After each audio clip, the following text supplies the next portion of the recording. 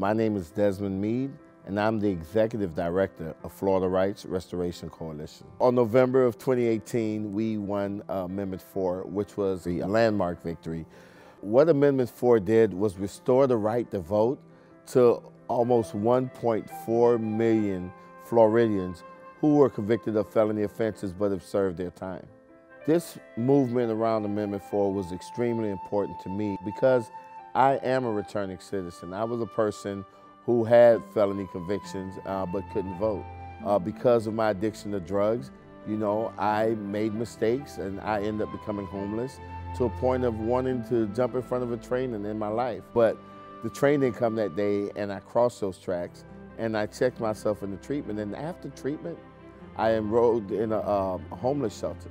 And while living at the homeless shelter, I decided to enroll in Miami-Dade College.